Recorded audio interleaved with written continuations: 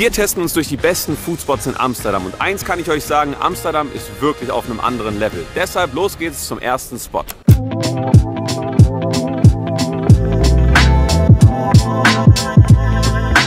Wir starten unseren Tag wie so oft mit einem richtig guten Kaffee, aber der wird heute begleitet von einem Pistachio Cruffin, also einer Pistazien-Croissant-Waffel, was einfach nur geil sein kann. Deshalb stellen wir uns in die Schlange. Ein bisschen Zeit muss man mitbringen, aber es wird sich lohnen.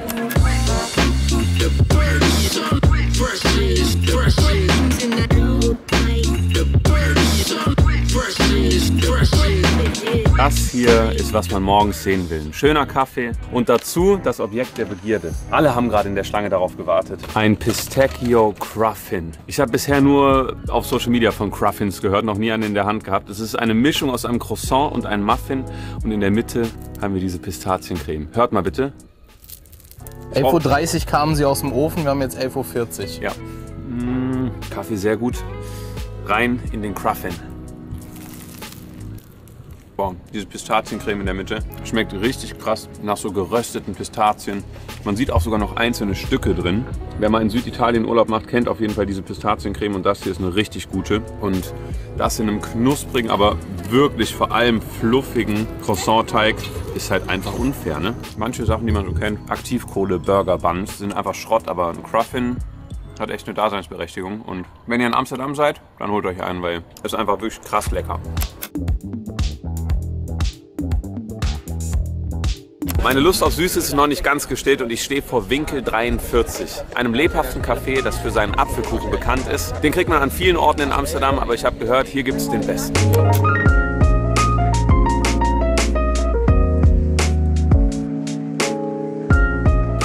So much. Guckt euch diese Schönheit einfach mal an. Original typischer niederländischer Apfelkuchen mit einer schönen Kruste, die schon fast aussieht wie ein Keks. Innen drin Apfelstückchen mit einem Zimtmantel außenrum und ein ordentlicher Schlag Sahne. 5,60 Euro kostet das gute Stück. Für Amsterdamer Verhältnisse absolut fair. Ich nehme hier vorne eine Ecke, ein bisschen Sahne, ein bisschen Kuchen das ist so einfach, aber so gut. Also der schmeckt wirklich schön zimtig. Die Apfelstücke, unnormal geil. Dazu die Sahne. Ich glaube, das gefällt wirklich jedem. Was besonders auffällt, ist diese leichte Zimtnote. Ich meine, jedes Land hat ja seinen eigenen Apfelkuchen. Ein klassischer deutscher Blechapfelkuchen. Dann gibt es den Apple Crumble. Und das ist wirklich eine sehr, sehr gute Variante. Das muss man den Holländern lassen. Wenn ihr so ein Teil bestellt und noch mehr essen wollt am Tag, dann holt euch besser Begleitung. Boah, krank. Der schmeckt echt richtig geil, Digga. Mhm.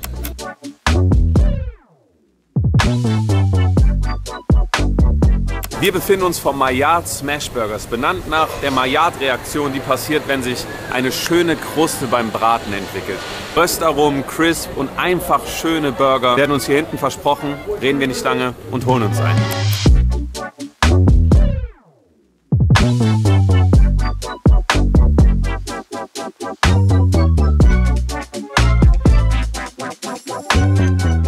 Lässt mein Burgerherz höher schlagen, Leute. Guckt euch das einfach mal an. Ein selbstgebackenes Potato Bun, wunderschön weich, hauchdünn gesmashte Patties, unten Käse, feiner Eisbergsalat und selbstgemachte Soßen. Dazu noch ein paar hausgemachte Gewürzgurken. Sowas sucht man vergebens bei mir in Köln. Klar, in Berlin gibt es Goldies, unglaublich gut, aber der hier sieht gefährlich aus. Also, packen wir den jungen Mann mal aus. Wer Smashburger nicht kennt, durch das Smashen kriegt man maximale Kruste, maximale Röstaromen das ist einfach ein Hochgenuss. Rein da. Aber die hausgemachte Soße hat wirklich Züge von der Big Mac Soße auf eine Art und Weise. Ist überhaupt kein Standard Smash Burger. Also das ist wirklich eine ganz andere Liga. Unglaublich guter Burger, kann ich jedem von Herzen empfehlen. Und dazu gibt es hier Smashed Potatoes. Da liegen einfach so kleine Drillinge, so kleine Kartoffeln, die mit einer Soße und frisch geriebenem Käse getoppt werden. Oh. Heiß? Mhm. Ja, die wurden auch gerade frisch frittiert, ne? Mhm. Und diese Lemon Garlic Sauce oben drauf, schön knoblauchig. Die sind richtig, richtig weich innen drin und außen. Man sieht es, richtig schön knusprig. Mhm. Einfach genau das, was ich jetzt gebraucht habe nach den zwei süßen Spots. Amsterdam hat es wirklich kulinarisch einfach sowas von drauf. Auf so kleiner Fläche, also in der Innenstadt, so viele kranke Foodspots. Glaubt mir, dass das noch nicht alles war.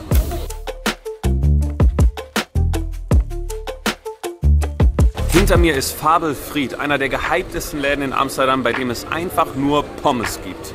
Gehen wir rein und finden heraus, warum sie so gut sind.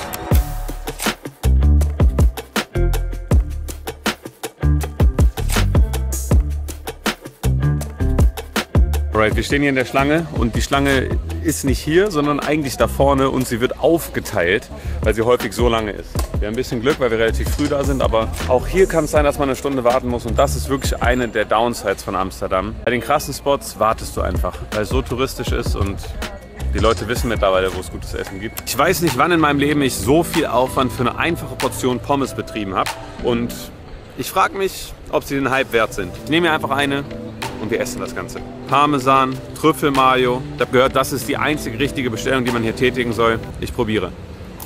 Mhm.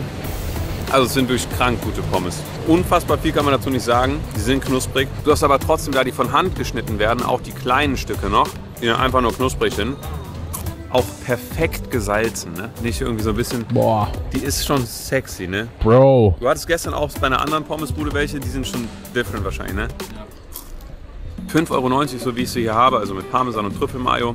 Finde ich auch fair für Amsterdam. Der Laden selbst ist wirklich besonders. Winzig klein, da stehen acht Jungs drin oder so, alle zwischen 18 und 20, die nichts anderes machen als diese wilden Pommes hier. Und wie so häufig ist es einfach so, dass wenn ein Laden sich nur auf ein Produkt konzentriert, dann ist es auch krass. Und ja, diese Möwe wird probieren, unsere Pommes zu klauen. Go away! Unglaublich gute Pommes, fairer Preis. So gut, dass sogar die Möwen sie haben So, wollen. dass die Möwen sie haben wollen. Guck mal, ich glaube, die ist extra knusprig. Isst die mal bitte am Mikrofon, dann wissen die Leute, was abgeht. Oh, das war ein Spot, den unheimlich viele von euch auch vorgeschlagen haben. Deshalb Dankeschön an der Stelle und äh, schaut mal auf Instagram vorbei, dann könnt ihr mir immer gute Tipps geben. Dankeschön. Jetzt brauche ich mal was zu essen.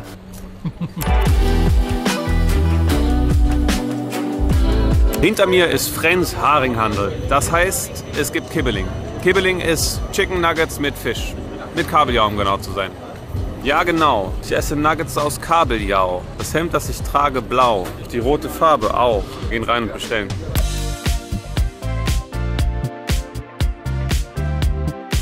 Kabeljau in einem schönen Ausbackteig, goldbraun frittiert. Dazu eine Soße, so eine Kräuter, Knoblauch, Mayo-Soße. Und auch hier, ihr seht im Hintergrund, kann eine kleine Schlange da sein. Wir hatten gerade keine, die hat sich innerhalb von einer Minute gebildet. Man riecht auch nicht so altes Öl, sondern das ist gute Qualität. Ich gehe einmal rein in die Sauce. In die Sauce. ich habe ein bisschen Angst vor der, vor der Temperatur. Der hat das gerade aus der Fritteuse geholt. Ja. Egal, einfach rein. Ah ja, Crazy, oder? geil gewürzt. Saftig wie noch was da drin, wirklich, also das glänzt ja richtig. Diese hauchdünne Panade, guck mal, das ist ein Millimeter, hat so einen immensen Crunch. Wirklich, das macht richtig, das macht Spaß beim Essen. Was, was passiert was auf der Zunge? Lass es mal in Peace, Alter. Amsterdam, wer es nicht weiß, ist lost, aber liegt ja auch direkt am Meer, ne? Direkt, aber das Meer wird ja reingezogen. Ja, ja. Also ist auf jeden Fall davon auszugehen, dass das mit frischem Fisch zubereitet wird und es schmeckt gut, es ist knusprig, es ist lecker, es ist warm, es ist vor allem aber auch traditional Dutch Food und sogar die Westen mögen es. Wie gesagt, deshalb äh, Ja, weiß ich nicht, Fall. warum ihr es nicht auch mögen würdet. Ja, Gehen wir mal was essen. Nochmal was Süßes jetzt vielleicht, oder? ja warum nicht? Ich will noch eine Sache sagen. Ich glaube, das geht ein bisschen unter inmitten von diesem ausnahmslos krassen Essen. Jeder Spot in diesem Video ist eine 10 von 10. Also ist wirklich unfassbar gut. Dieser Kibbeling, ich habe noch nie so was Gutes gegessen. Noch nie so guten frittierten Fisch gehabt. Smashburger, Fehlanzeige, sowas kriegst du in Köln nicht. Wir haben Sachen noch heute. Diese Cookies, die später noch kommen werden. Ich habe Angst davor. Und ich bin froh, dass ich heute Abend weg bin aus Amsterdam, weil das Essen ist zu krass. Bevor wir zum Finale kommen mit den Cookies, noch ein letztes Mal herzhaft und nicht irgendwie. Ihr werdet es vielleicht im letzten Video gesehen haben, Lebanese Sageria. Hier wird Sarge-Brot bei Bestellung frisch gebacken auf einem Sarge-Ofen. Das ist so ein Halbkreis, auf den Teiglinge gelegt werden, knusprig ausgebacken von einer Seite, die andere bleibt schön weich. Dann wird das Ganze gefüllt, bestrichen mit guten Zutaten. Habe ich zum ersten Mal vor vier, fünf Jahren gegessen. Immer wenn ich hier in Amsterdam bin, esse ich das. Gehen wir rein und lasst es uns schmecken.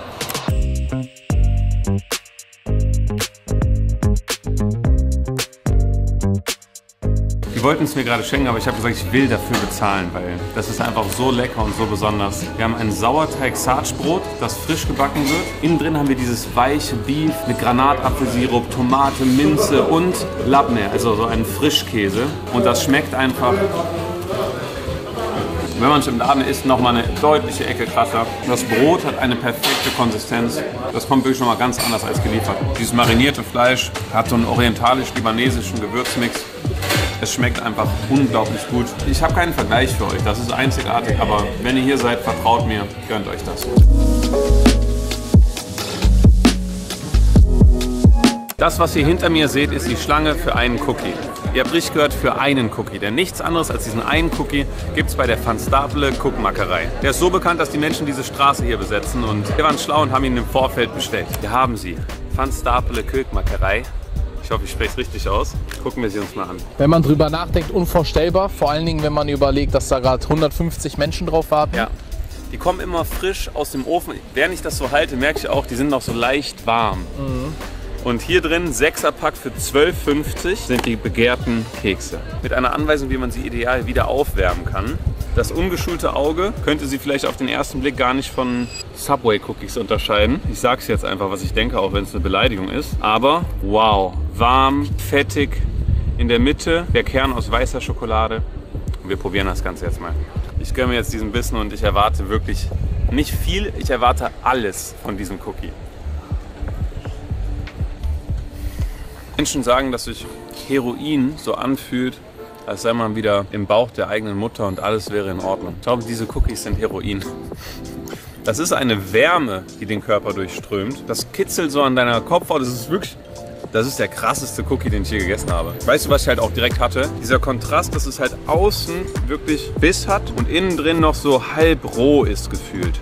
Die restlichen vier nehme ich jetzt noch mit nach Hause als schönes Andenken an diesen wunderschönen Amsterdam-Trip, der kulinarisch einiges bisher da gewesen ist, in den Schatten gestellt hat.